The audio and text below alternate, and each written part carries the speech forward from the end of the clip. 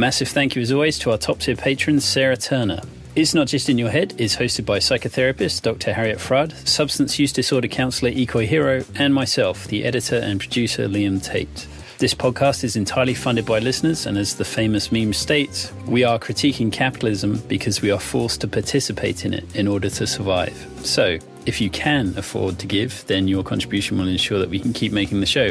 However, if you can't, then please just leave a review on your podcast platform of choice, tell your friends about us, and follow us on Twitter, Facebook, Instagram, TikTok, Reddit, or YouTube.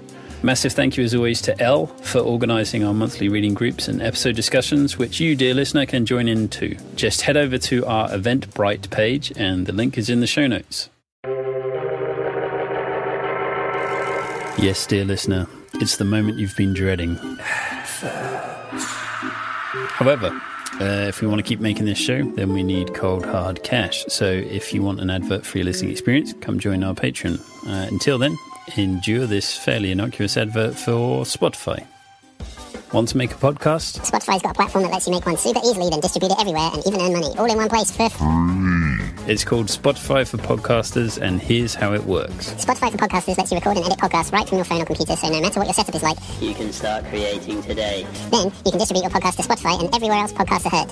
Video podcasts are also available on Spotify, and when you want to take conversations with your friends to the next level, Q&A and polls are the best way to get them talking.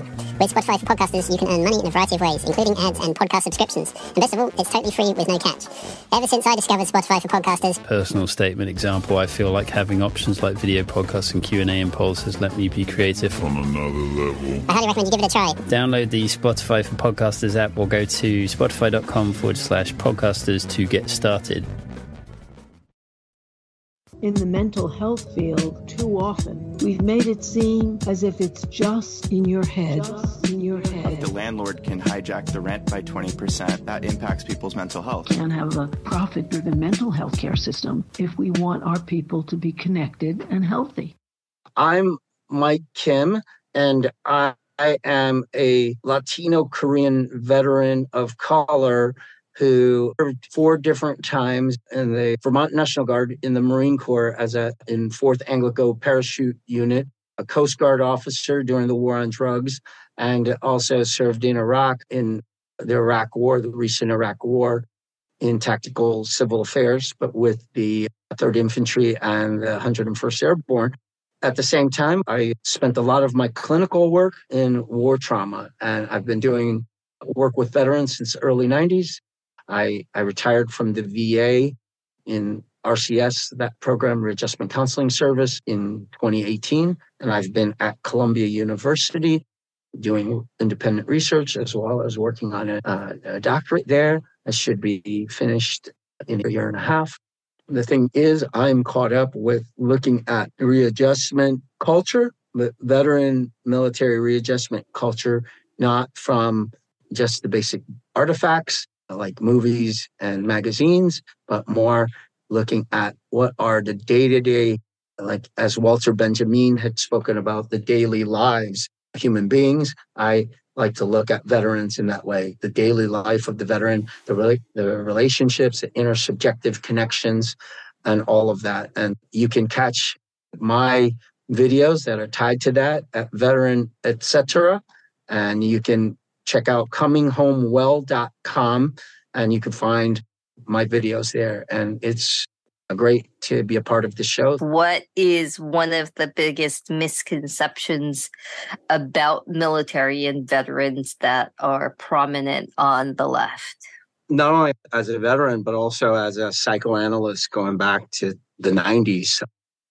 Yeah, so I've treated veterans as well as been in combat as a regular foot soldier with the 101st Airborne and uh, the 3rd Infantry Division. Having gone back and forth between the the left and right periodically as a younger person and then being firm as far as being progressive when I, I became a Dominican friar and, and adopted the theology of Gustavo Gutierrez and liberation theology. I ended up like really understanding both the left, and the right, and the middle or the center. And I think a misconception that the left might have regarding veterans is that we have to thank much like the right, we have to thank every veteran for everything that they've done. And my thing is that we all have to have a level of accountability within the civilian world as well as the military world. So, in many ways, the left will give this carte blanche to soldiers in many ways so that they themselves don't get involved politically because they just don't feel comfortable dealing with a lot of uh, issues. They'd rather focus on climate change than maybe send an email to the Senate Veterans Committee or something on VA policies, on different wars being set constantly. They'd rather do they'd rather do these other things than look at what's happening in the world. And I think that something from the 60s is needed. We need a movement from the 60s. I feel uncomfortable because I know the left at times doesn't treat me all that great, but I believe it's very important to have that because at least America is involved in regards to the issue of military and war. The suicide rate of U.S. soldiers coming back from Vietnam, Afghanistan, and Iraq is greater than the death rate at war. Whereas in World War II, that wasn't the case. What is the change in the morale of the soldiers, especially when they get home, that they would kill themselves so frequently? Durkheim did some research on suicide, and he found that World War I vets were prone in Europe to suicide, and it was because of a certain level of lack of integration into society, or the bonds have within society broke down for the veteran.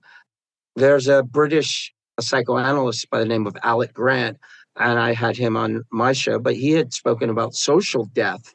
And uh, I believe an African American scholar had spoken about that in regards to experiencing Jim Crow laws or slavery and seeing a social death happening with human beings in that. And I think that can happen, that social death happens in a society that only looks at a veteran in regards to thank you for your service and not really giving a veteran a real sustainable job, a real care for sustaining their families, etc. I think those are things because when you're in the military to a certain extent, though it's a difficult life, it's a socialized life, right? So your yeah. your health care is taken care of. You have a backache, you just go to sick call and they take care of that. You're given food, you're given shelter. After that, then you're put out in this world where it's very different. And then you have the machinery of capitalism, which I, though I believe in, in, in social programs and everything, I do believe that the end of capitalism, or at least how capitalism in its extreme state is expressed here in the United States and in other places in the world, can really damage the the life of the veteran versus what the media says about all of these veteran entrepreneurs. There are some, I know mm-hmm. them, but it's not, you've got all of these veterans really thriving after these wars. Of course, coming from the military, where you have tight bonds with the people in your military group, and then you don't, and you don't have support, social supports. But I think, you know, that book by Case and Deaton, Deaths of Despair, that those are social deaths too, that Americans don't have a movement, an organization, a socialist alternative, an inspiration, and are less and less cared for. And so that I think we all share social death. The way you put it really makes sense across the board, but even more so with the military. I appreciate that. Yeah, what I find really interesting is, and even my psychoanalyst is very very conservative great practitioner probably one of the wisest men i've wisest therapists i've ever met.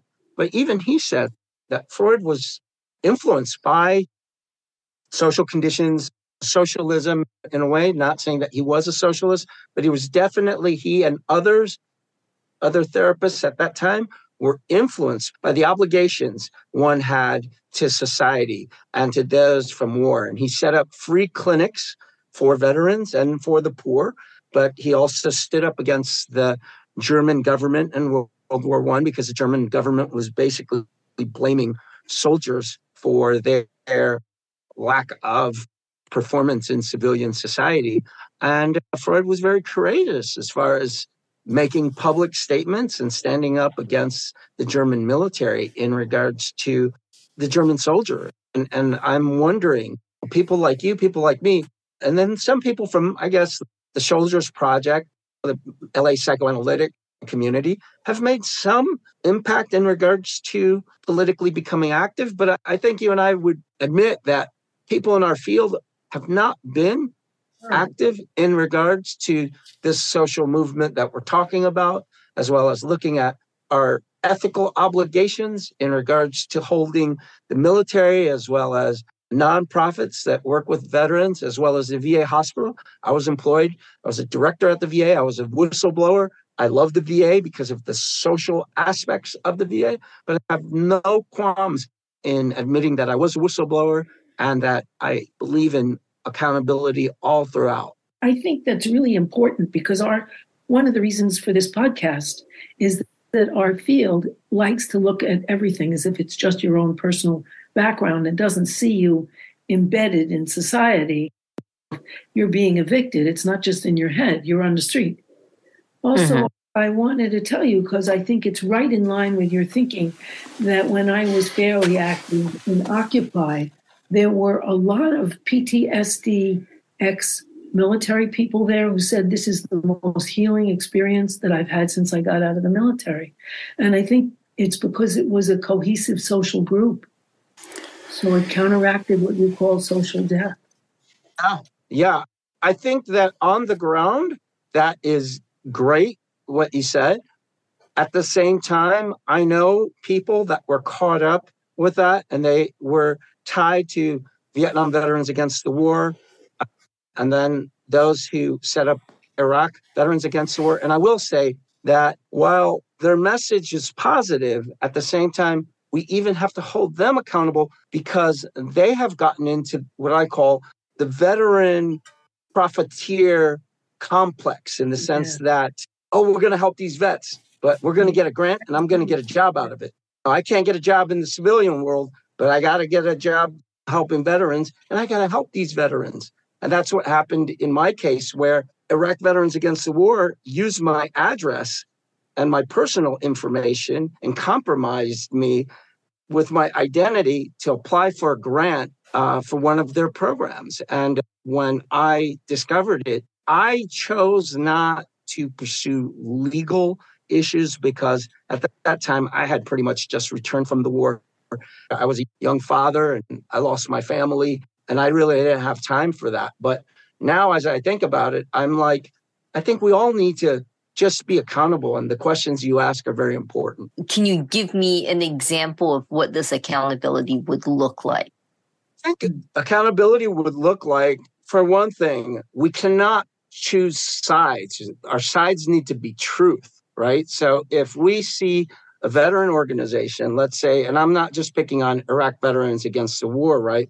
But where were we when Wounded Warrior Project was showcasing all of these veterans on mass media and making an incredible amount of money off of donations? Where was a movement of concerned citizens being vocal, writing articles, using podcasts, doing interviews to hold these groups accountable. So I think that's a start. I think other ways are they include reporting different things that we see to different organizations that work with nonprofits to hold these nonprofits accountable, as well as the VA. We can always band together as a group, veteran and civilian, and we can always write letters to the patient advocate. We can always write letters, make calls to our representatives to hold the VA accountable in regards to the active duty military. We even have a great system such as the US Constitution that just gives us a lot of power as civilians to contact our representatives to have a commander, if we know the commander at Fort Hood is responsible for that Latina ex woman who was missing out there at Fort Hood and was dead, was killed, we could have banded together and made a difference there. And so, what we need to do is create local movements as well as national movements, much like labor, right? We need to treat right. veteran issues in many ways like the old labor movement. And sadly, we don't have that anymore because they purposely killed the labor movement in America. They did, but what I need to understand, which perhaps you could help us, is look, Americans, and it looks like Britishers too, although I certainly don't know as much about that, are incredibly passive. I remember reading in Barron's Weekly, that stock weekly of all places, I think the guy's name was Sam Ehrenberg. He said when Bush was selected instead of elected, he said, America is a country where you can steal an election in broad daylight. Americans make sheep look like rugged individualists. What is it about Americans now in the midst of more and more misery, not only of veterans, but of everybody not banding together into a vital movement of which you, veterans groups should be a part, groups against corruption and for socialism or some kind of better society. What do you think is happening that we're so passive on these issues? I see media as being responsible, right?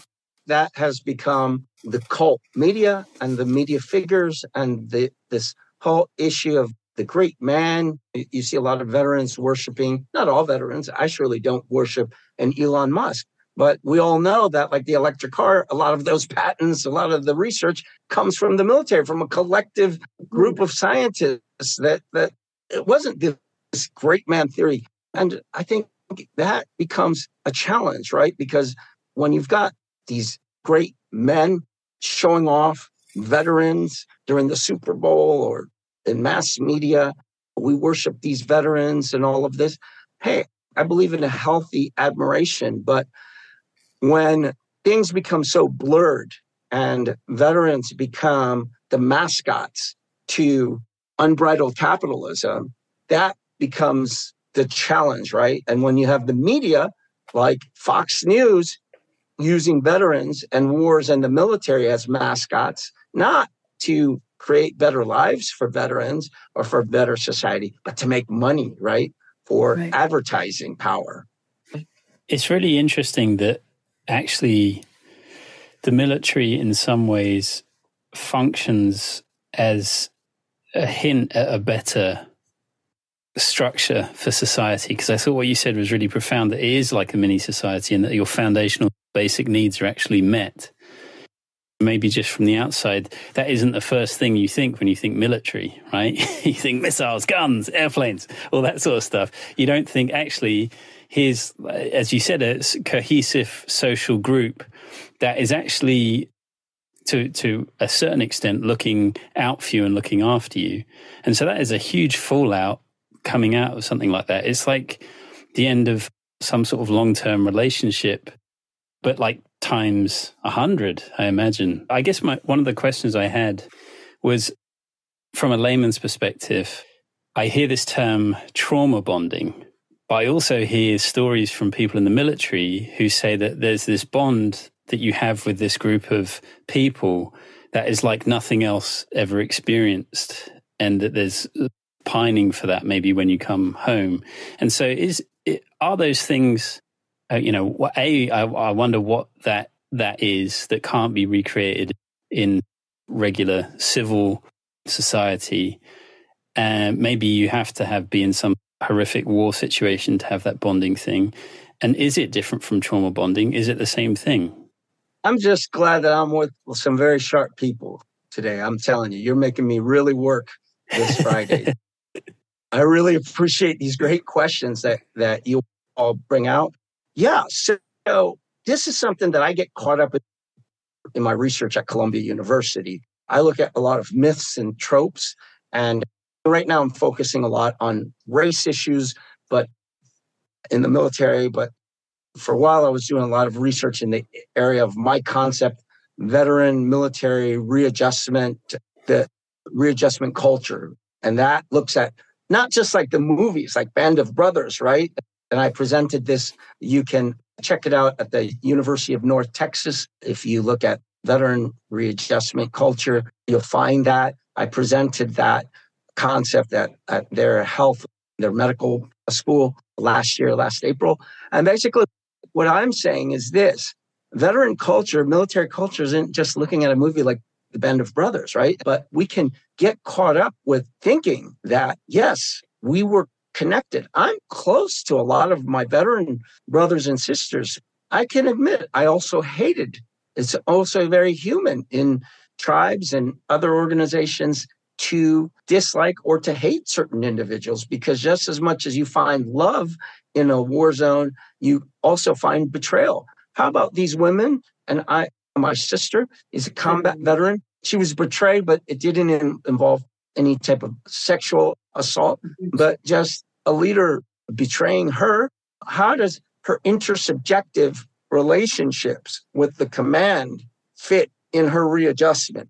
So that's a mm-hmm. big question as far as readjustment culture, not like just looking at the tropes of the band of brothers or here we are together and gung ho and all that, but looking at the intersubjective relationships that you have with your battle buddy, with the enemy, with your command, with your senior enlisted commander, all of these things make a difference. And I would say that when you go through true readjustment counseling, a real combat trauma therapist will not just look at the diagnosis of PTSD and look at the criteria.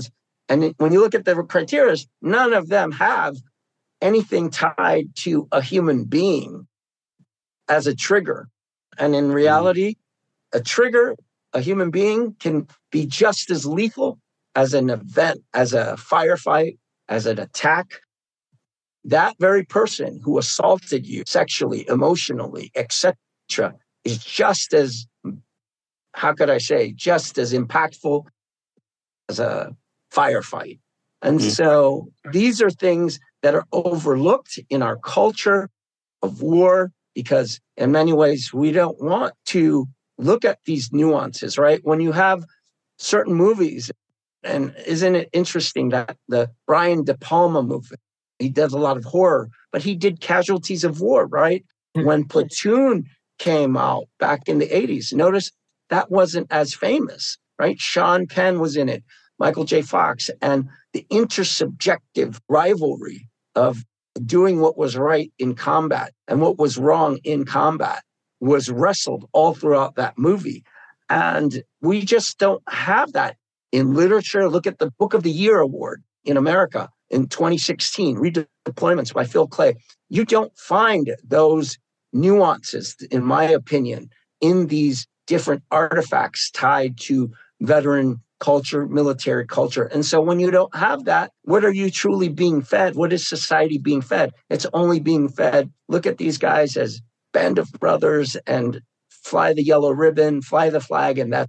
Speaking of the band of brothers, I wanted to ask about the flagrant sex abuse in the military because my son in law was in the Marines and he described one night he went out with a bunch of guys and there was one woman and she he took her home because she was drunk and she said to him this is the first time i came home after hanging out with the guys where i'm not naked. Thanks for carrying me home.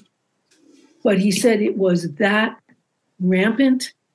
I read that the most of the homeless veterans on the streets of new york are women who've been sexually traumatized as well as traumatized through the war. And i wonder what is the tie between the military bonding and sense of brotherhood and raping your sister. As far as being part of the band of sisters and, and brothers. Yeah, I think a lot of it has to do with the command structure. And because the command has great immunity, and this is what I've found in my research, there is this immunity that superiors have, right? Where in the federal government or in corporate America, if you commit one of these heinous crimes, you can be personally sued. And not only that, you can go to jail a lot easier. But in the military, commanders have a certain level of immunity that guard them from being sued financially. And, uh, and it's also a lot harder in many ways to put a commander into prison. Yeah. So it's the unaccountability because the upper echelons collude in the sex abuse of women. And that's part of it. The other part, and I'm glad you asked que- this question, and we have a responsibility in the UK and in the United States to prevent these politicians to use the language of wokeism to prevent the DEI, the diversity, equity, and inclusion trainings that have been going on since the 70s. There, there was a DEI Institute, academic institution set up within research institutions set up in the military back in 1973 because they wanted to avoid all the problems that happened in Vietnam. And what were those problems? Fratricide, where you had African Americans and other minorities going up against the command, especially when Martin Luther King was shot. You had the Long Binh prison overthrow there, the fires and everything that happened there in Vietnam with a military prison. The United States did not want that. The U- U.S. Army in the future did not want that. And so what they wanted to do was look at diversity to, as Liam spoke about in regards to the social, to keep the social machine going, to keep harmony and stability going. And now what we're seeing with these ultra conservative politicians is a vote to try to kill these programs. And in the future, if we get involved in a war with Russia or with China or with both, we will be seeing, I believe, these challenges that came up in Vietnam, where troops will literally walk out of the battlefield, they will switch sides, they will do many things if it's compromising their civil rights because we're all human, right? We even had a unit back in the Mexican American War, an Irish American unit yeah, called the St. Patrick's Battalion. battalion. Yeah. They were Irish. They stood up against their command because they didn't want to go through the persecution of being Irish as well as being Catholic. And they did everything that was based on human dignity. And I say this with great pain because I love my country. I love the military. I just want the military to become better. I don't want to see people dying unnecessarily out in the battlefield. I don't want to see division in the battlefield. I joined four times. First time back in 86, I saw a certain sense of growth in the military as compared to regular society. I became an officer. Sadly, I experienced certain things in being an officer in regards to race, but still, I don't think I would have advanced as much out in the civilian world as I did in the military world to a certain extent. And that was happening in the 80s and early 90s.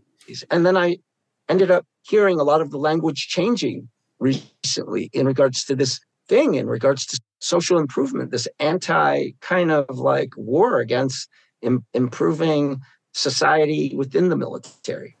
I wanted to ask you if there was fragging when you were in the military because I remember during Vietnam, because I'm old, I was very active in stopping war in Vietnam, that there were commanders who were supposed to lead their troops who shot them in the back, and the troops stayed home because they didn't want to do it. They want to risk their lives. They believe it. Was that an issue still when you were there? I think that it was, how could I say it?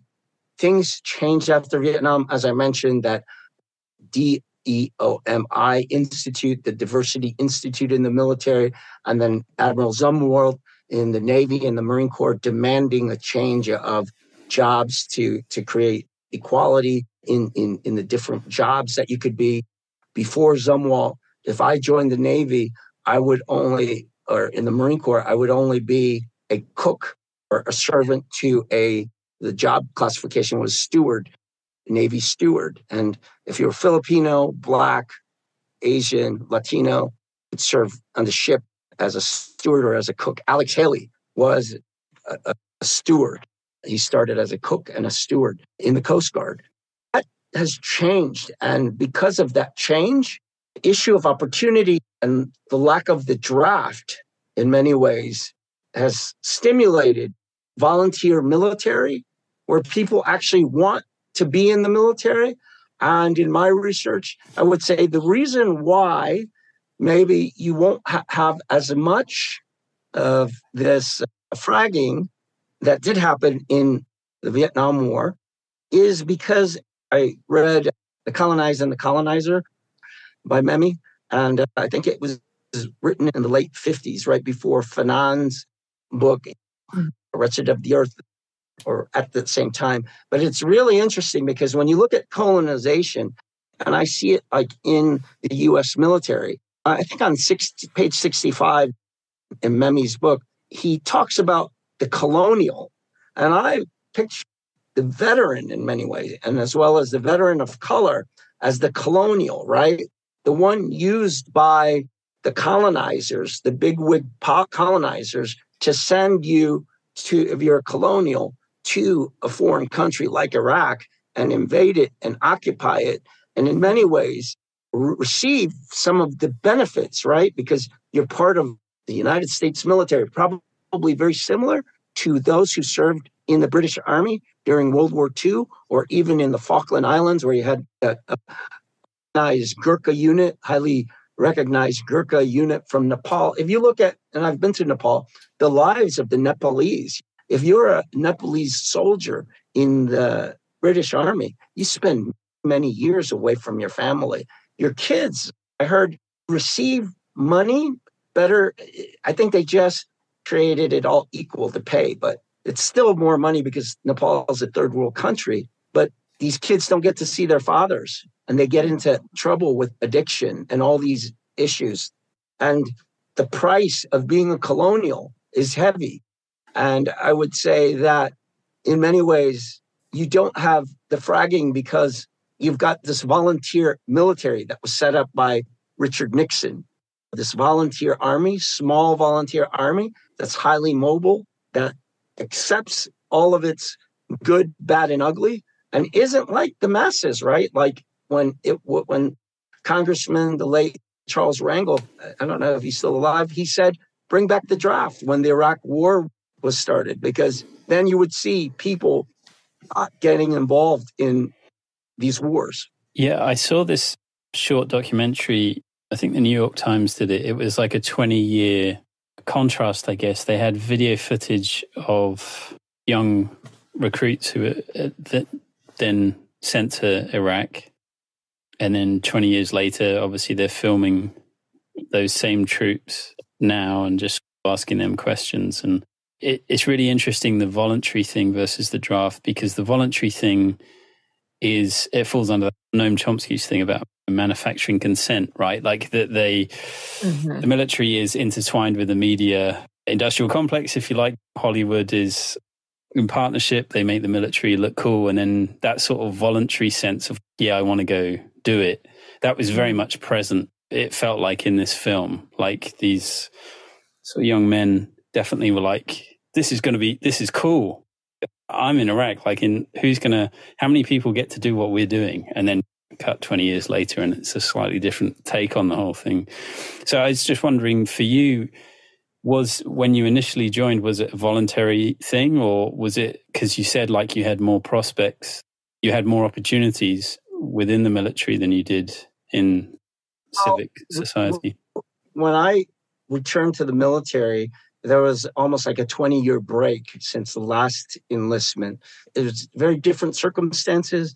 I had already been working with the military as a civilian with the VA at the rank of equivalent to a captain. And I really didn't care about rank. I was being affected by the patients I would treat who were coming back from the war. I had heard about a classmate of mine. I'm also a graduate of of a military, of a senior military college, and a classmate of mine had died. I went to Norwich, and I felt compelled to join, but I gave up my rank and went enlisted just to deploy again, largely because of, of the news, right?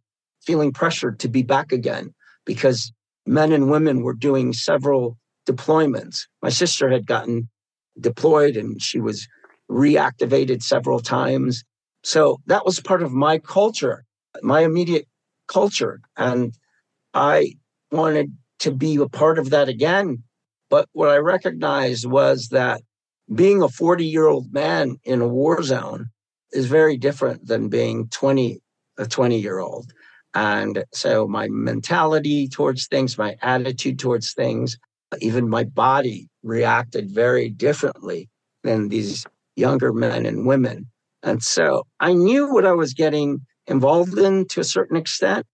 I just felt that it was my obligation as a citizen because the numbers were going down. And my recruiter did say I would make a difference as far as having another person not deploy again. At the time, I was single. I did not have my son. I just felt somewhat nostalgic, somewhat patriotic, somewhat caught up in that level of duty. But I will say it was also littered with some myths and tropes because when I got to Iraq and I had recognized that there was no link to 9 11 and Iraq, and when I recognized that the Iraqis themselves did benefit, sadly, I'm sad to say it, but to a certain extent, through the socialized lifestyle that Saddam Hussein yeah. created for Iraqis. Yeah. Yeah. Christians as well, diverse groups. And I'm not idealizing Saddam, but what I'm pointing out is certain truths that a lot of Westerners, Brits, Americans don't want to face. And that's this was an illegal war in Iraq and and I was a part of it.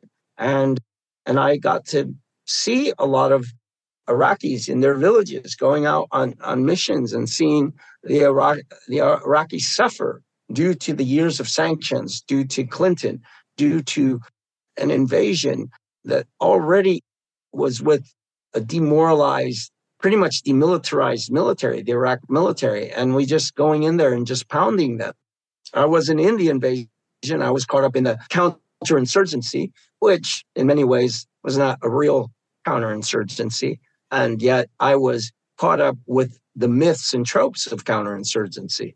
I remember reading and being impressed that one of the things that Hussein did was he fought against the Muslim religious hold on his country, and 40% of the professional jobs were held by women, which was a real advance. And I think they just wanted to test new weapons on non white people, which they frequently do. And so I was horrified by that. I also wanted to ask you about another phenomenon that when we visited my husband's family in Mississippi, the only opportunities that seemed to be afforded were and eulogized were the military, football, and God. That was it. Those were the only things. And he said that in his family, everybody had to leave rural Mississippi or they became an addict. So they'd have something to look forward to getting high, join, excuse me, or join the military.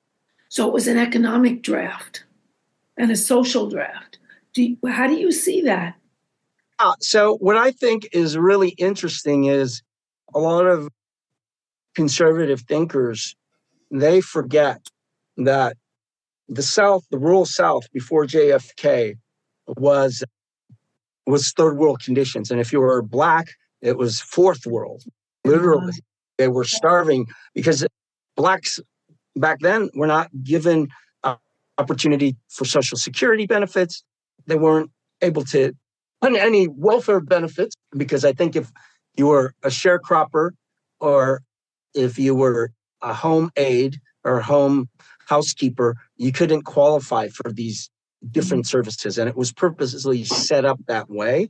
And uh, so you would have no entrance into the system to receive help. And so, what was the alternative? much Liam in my words in regards to this social reality. I spoke with Vietnam veterans from the north, from like Brooklyn, who I've done over God knows how many hours, thousands of hours talking to Vietnam veterans who in, from the New York area. Some even grew up in in the ba- the bastion for baby boom, right in Levittown in Long Island.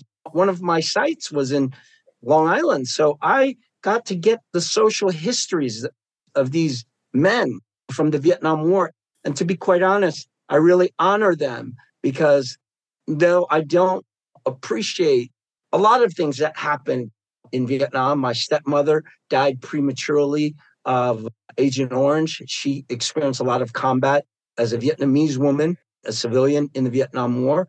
I guess what I'm trying to say is with these Vietnam veterans, they shared with me a level of authenticity as far as saying, hey, when I went to basic training or boot camp, I was with guys in Mississippi and then they didn't even say black or white, but I was assuming it was white, even white. That the guy never even really had shoes on before. The boots that they issued, it was a new experience to get issued combat boots, to experience wow. new shoes. Everything was either handed down or they didn't have shoes. And so those were the type of conditions that were going on with a lot of Americans from the South, as you say it, this way out. I experienced some of that growing up in redneck part of Florida. And I didn't pretty much I didn't have a way I didn't have a way out. I if I would have stayed in Florida because of my race, ethnicity, the best that would have happened was I would have gotten a civil service job, maybe with sanitation, and that would be a, a promotion. And I wouldn't end it, I wouldn't end up going to Yale and doing a Harvard program and in, in refugee trauma and, and retiring at age 50 and just having a great life for my son and I. It was definitely a way out for me and others.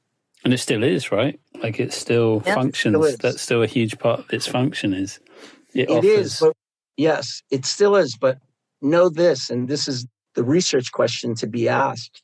Why is it that Generation Z, kids like my son's generation, and even certain younger millennials, you know, they're not going into the military. And it's not because there's so much prosperity in this country but they're they're not going into the military in many ways because there's been a shift in culture. What those are, I'm not too sure of. I interviewed Scott Ritter a couple weeks ago, mm-hmm. and we did a very interesting video because I wanted to see his life as a veteran. So, unlike all of his shows that focus a lot on the present conditions going on now, I devoted that show to look at veteran life and he explained what some of his thoughts were, and I shared some of mine. And I think he felt that there was a lack of uh, human beings being involved in, in, in, in that's present in the military that is not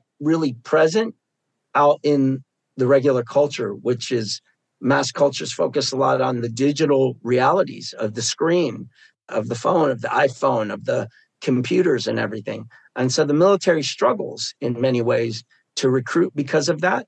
But I also wonder if, because maybe those people have heard the stories or have access to the internet to, to different histories and maybe don't want to be exposed to what has happened in the past. I'm not sure, but that's some thoughts.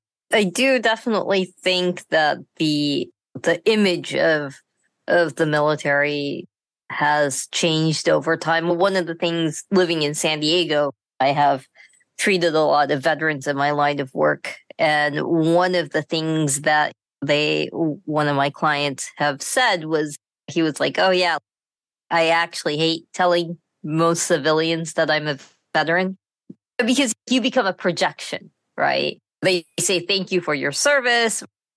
And a lot of people want to push their idea of what an ideal veteran is on you, right? And so it's one of those things where he's just, regardless of people's political affiliation, he's, I can't ever win. And when he talks to younger people about, oh yeah, I used to be a veteran, the older people tended to say thank you for your service.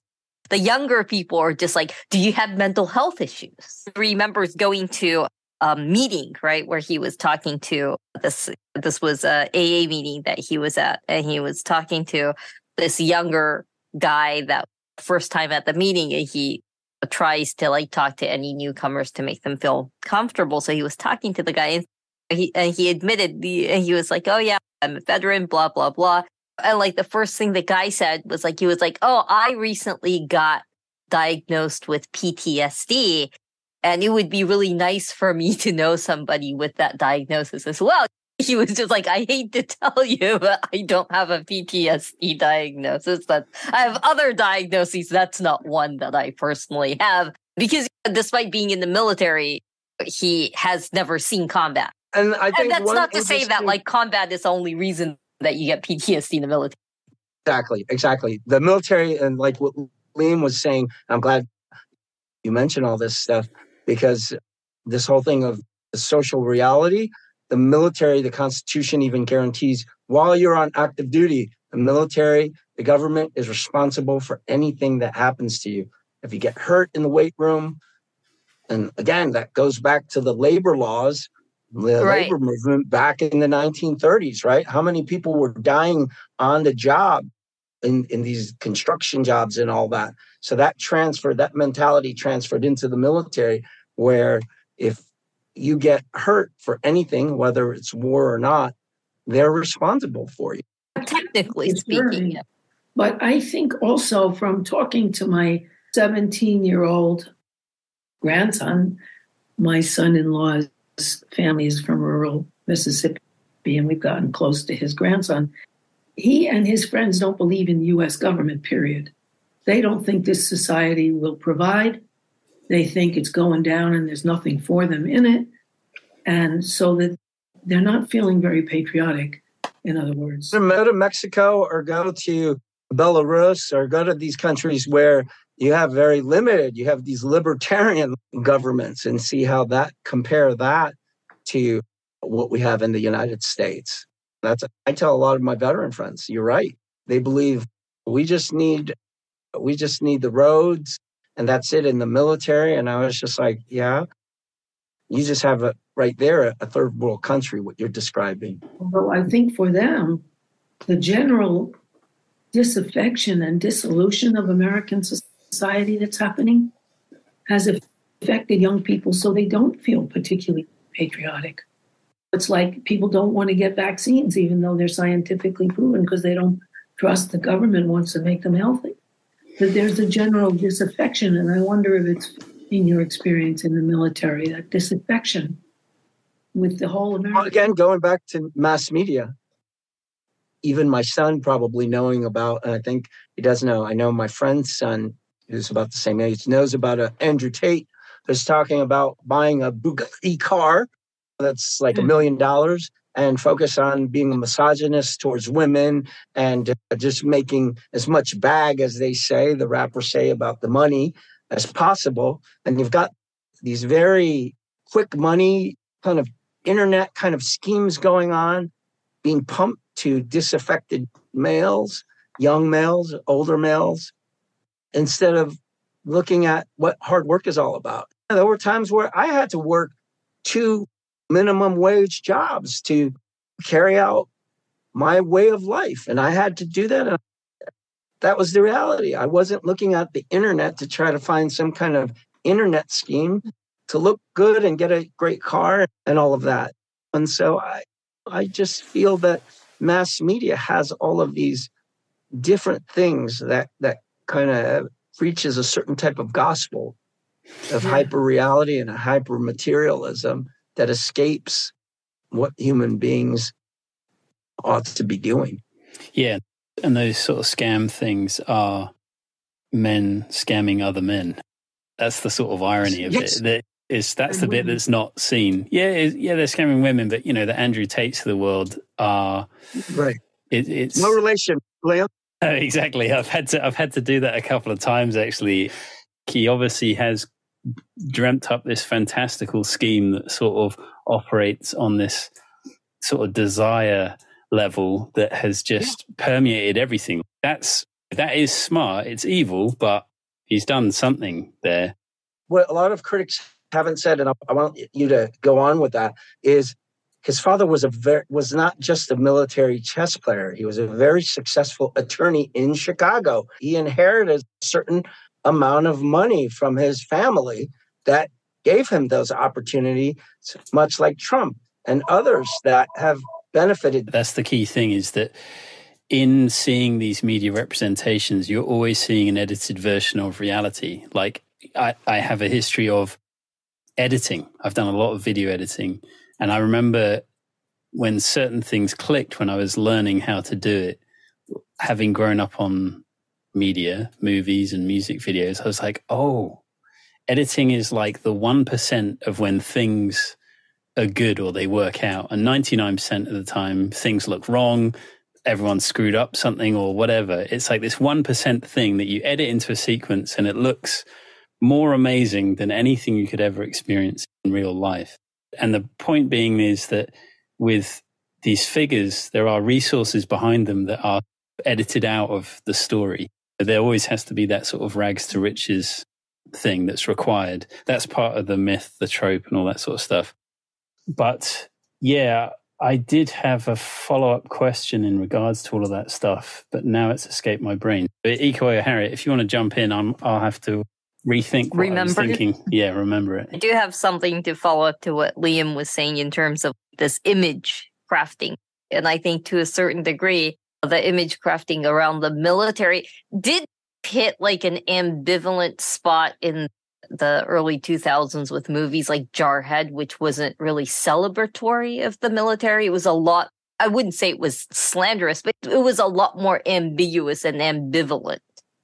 I'm you glad know? you mentioned that because I actually wrote I wrote to Anthony Swofford because I wrote a, an article in Mindful Word about that movie. But then after processing it a number of time, a number of times, I had to think, gosh, yeah, we look at the wounded, this wounded soul that's out, out there. Many Iraqi soldiers who suffered a lot more than like what we suffered. And I'm not minimizing the pain of war from our side, but it just seems as though our narrative, right? Our war narrative wants to be the gold standard, right? So our sanitized war narrative of Swofford or these other folks that come on board, they have to be the gold standard for describing war.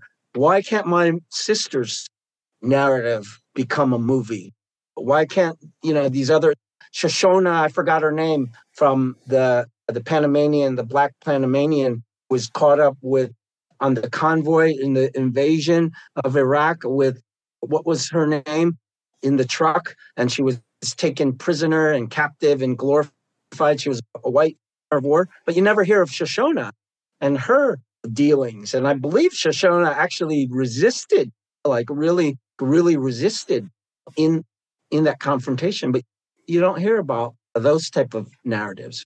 I have remembered, and it was that in regards to Harriet, you were saying that the through extended family, basically that they feel like the American government doesn't have anything to offer them. One of the things that does happen, and it, Mike's comparison with other countries as like proof of some things clearly are working about the American state versus when you look at other places. And it, there is some truth in that idea that when things work, they become invisible, right? Yeah. If you have a stone in your shoe, that's when you actually notice your shoes. But prior to that, they were just looking after you as you were walking along. That wasn't what you were thinking about. So it's that thing of everyone has every right to critique everything, but and the state included, obviously. But it's one of those things that clearly some things do work in the states, but and obviously through conversations we've had on this podcast, being in the UK, there's we have all kinds of problems, but it, it's pretty apparent there is some sort of dire issues in America, sort of foundational ones, really about looking after people and all that kind of stuff.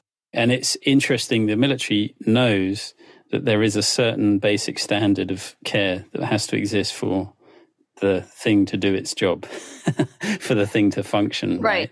And knowing that, you would have thought, oh, we should apply this to, to civic life, as it were. So then you have to go, it must just be a deliberate choice that, that because, like you said, it's part of this funnel, this sort of voluntary funnel towards joining the military. And I think also it's really interesting in this conversation. The idea actually may be okay, if you sign up for the military, chances are maybe you are going to see some and experience something shocking, horrific, upsetting, traumatizing. But the idea that civic life actually be more traumatizing is interesting, right? Depending on the economic, social opportunities you might have. The idea that actually just staying in civic life might it, you might experience things that are just as damaging or more damaging. There can be an That's, economic draft too, and a social draft that yeah. you join the, the society isn't there for you. But that's a considerable trade-off, isn't it? The idea is, I think, the yep. sort of common idea is if I go into the military, I might experience some like you said, this sort of social cohesion, some positives, travel the world, blah, blah, blah. But certainly, like a generational thing, they might be thinking in their head, yeah, but I might also experience some horrific stuff that's going to stay with me for a lifetime, whatever. But, or you but might lose your life as well. You know? Sure, yeah. But exactly. the idea that actually, because of the civic conditions in general society, particularly bad, the idea that actually it's not necessarily the worst trade off. Like that that's the dystopia, isn't it? Is that every everything around you in regular life is it's not any better. Yeah. I, oh, go ahead. Wildcats on Netflix. It's very good. It's about a highly traumatized British veteran of one of the wars we've lost. I guess it's probably Afghanistan or Iraq, and how he learns to at least come back a little bit through rescuing animals. So he's saving something's life rather than destroying life, which totally traumatized him. But I don't think a film like that would have been on Netflix maybe 20 years ago because it very much shows this the mental destruction that he came home with. Yeah, is for you, Mike, what was that? What was that for you, like coming back serving initially and then training to become a psychoanalyst? What was what did that all that stuff look like? Is that the right? Is that what happened? I I think with me, I I ended up coming from an educated family, but not an immigrant family. E- economically, not all that not all that good because my dad was just like in the wrong field, and that's why I don't like Reagan because he was a veterinarian and a farmer, and agriculture was pretty much small level agriculture in the United States was just like killed by Reagan, and mm-hmm. that affected my father's job. So growing up, yeah, we we struggled, and so the military was a way out, and I had a lot of educational influence or education bred into me from my family, and so that kind of carried me along the way in the military. But I guess the reason why I'm so passionate about veteran care nowadays and veteran advocacy is I had the right parents and I had the right education and I had money and still money as I worked harder as an mm-hmm. adult and everything. And I still experienced major readjustment issues a- after the war. I, the readjustment issues can be many different things. I don't say that I was a John Wayne kind of guy. There were things that I experienced that no doubt were so different from the person who I had been before. I, before that, I had just been somewhat of a hippie. I had let go of a lot of the military and got into being a friar monk for 10 years. And then going back into the military the last time, I had to totally change and revert to something that I was not really accustomed to. And and that was a challenge. And I think everyone has, and I, as I like to say in my concept of looking at readjustment culture. Who were you before you were in the military or before the war? Who are you while you are there in service and afterwards? And and yeah, I just think that there's just a really interesting autoethnographic kind of like data in in looking at military service from that angle. And I know I try to look at myself and like I said, I lost my family. I'm trying to rebuild my relationship now that I'm retired with my son. And that's something that I wasn't able to to be an adequate father to him.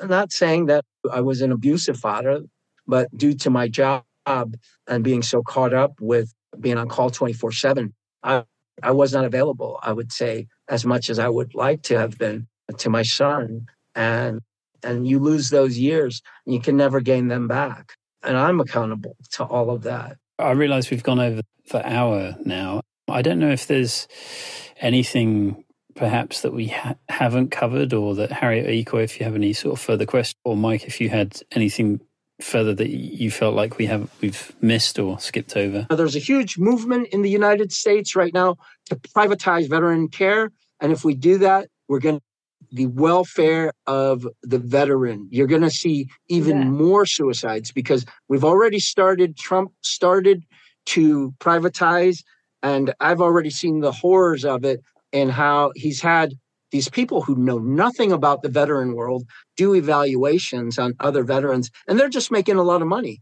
as well as insurance companies. And so Suzanne Gordon and Steve Early, they actually write for Jacobin, and they've written a lot of books and stuff on veteran care. But if I'd like to steer folks into reading Suzanne Gordon's stuff, and David Shulkin, who was a secretary of the VA and was fired by unjustly by by Trump. And you can catch my podcasts weekly, veteran, veteran, etc.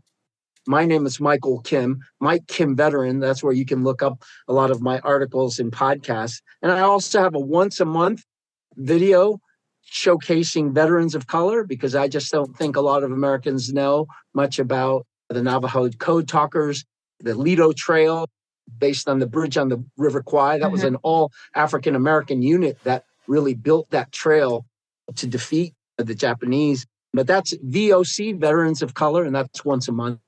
And yeah, I'm really impressed with the show and the questions and uh, you folks. Thanks for having me. I'm particularly impressed by your introducing me to something I hadn't understood, which is the social support network which is yanked when you leave. One of the things I, one of my clients who have been both in the military and prison actually talked about some of the similar aspects of mm-hmm. that experience, just in the sense of he's just in right. both those environments. You don't have to think about the day to day because the day to day is already planned for you. And that there is, because you've also mentioned like who you were before military and during and after and how those are just like very like different parts of your life. And people he also said that aspect he he has that view different views of himself with his time in the military he also had like the same experience with prison. And also one of the things about that he used to constantly talk about with why he failed in civilian life so much, both after leaving the military and both after leaving prison, was that in both those situations, he was like, they obviously prison, absolutely horrible experience. But he was like, I didn't have this unending loneliness in those places mm. that couldn't be filled. He was like, on one hand, was I absolutely happy to get out of the military or prison in both situations? Yes. But at the same time, he was like, once I was in back in society, there was just like this deep abyss of loneliness that couldn't be filled. And I think that's one of the major aspects of the positives of the military is like this very deep socialization that happens in it and provision for people, care yeah. for people. I realized in my excitement, enthusiasm for getting everything rolling at the beginning that uh, I didn't really get in. Harriet and Equo introduce themselves, but I didn't get an introduction from you. And actually, that would be useful to cut into right at the beginning of the podcast. If you had a boilerplate sort of intro for who you are and your experience and role and all that kind of stuff. Thank you. I appreciate it. And I think throughout the chat, you definitely got a lot of uh, who I am. But I'll just remind folks I'm Mike Kim, and I, I am a Latino Korean veteran of color who served four different times in the Vermont National Guard in the Marine Corps as a in 4th Anglico Parachute Unit a Coast Guard officer during the war on drugs, and also served in Iraq in in in the Iraq War, the recent Iraq War, in tactical civil affairs, but with the 3rd Infantry and the 101st Airborne.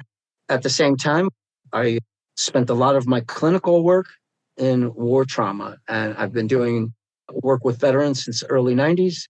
I, I retired from the VA in RCS, that program, Readjustment Counseling Service, in 2018. And I've been at Columbia University doing independent research as well as working on a, uh, a doctorate there. I should be finished in a year and a half. The thing is, I'm caught up with looking at readjustment culture, the veteran military readjustment culture, not from just the basic artifacts like movies and magazines, but more looking at what are the day to day, like as Walter Benjamin had spoken about, the daily lives of human beings. I like to look at veterans in that way the daily life of the veteran, the, re- the relationships, the intersubjective connections, and all of that. And you can catch my videos that are tied to that at veteran, etc. And you can check out cominghomewell.com and you can find my videos there. And it's a great to be a part of the show. Thank you for your knowledge and your interest and your goodwill. Yeah, that's awesome. That's perfect. Thank you very much for doing that in bit because that would be really useful. I'll put it right at the beginning. And the parachuting sounds awesome. Man, someone's going to pay. heights too. oh man, that's amazing. Even the military recognizes, right? And I tell this about civil service. I believe a lot of people in the United States they're against, and I don't know about it in England, but in the UK, but like the, in America, the civil service system is the best system in the world for employment because it's fair. There's actual. Of your man, woman, person of color, you get judged. And I know this as one who was judged and one as a director who had to hire people. There are different grades of different things, and you get paid for different risks that you have in your life. So parachuting is extra pay that I said, even though I was afraid of jumping, I, I want this extra jump pay. wow. Wow.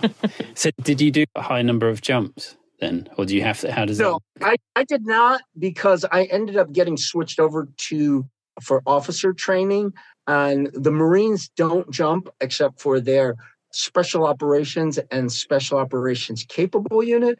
Uh, another great veteran, my best friend Rudy Reyes, just did in the UK the TV show called Special Forces, the world's toughest test. Now, I will say in those shows, and I know Foxy, Chris Fox, from ironically enough, when I was a monk, I ran into his friends when I was doing a retreat on the Appalachian Trail. I was just walking, the monastery was that I was doing the retreat on was right on the trail. But I saw these guys, they were camping and it was 10 below zero on the snow. And they were camping and they had been British SAS Marine BS Commando Marines. And I said, come on inside, have a meal, have a hot meal with the monks.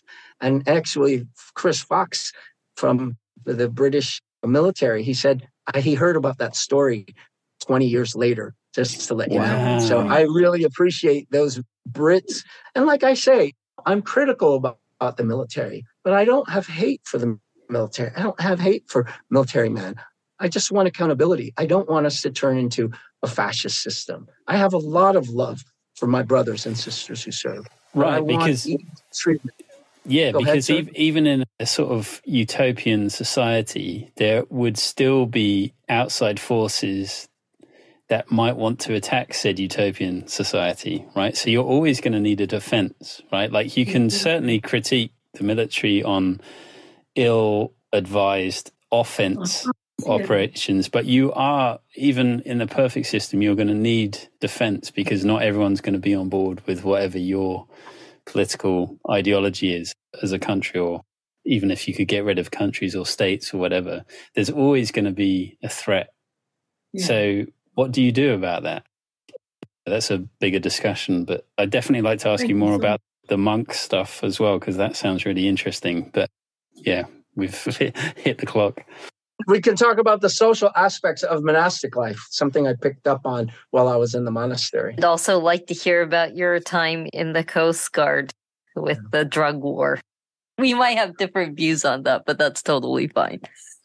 I I am all about having that budget being spent on recovery. I also worked in Harlem during the crack epidemic of the 90s and the Clinton crime bill and welfare reform Um, with families. Again, we'd love to have you back. Thank you so much for your time. Thanks for coming on.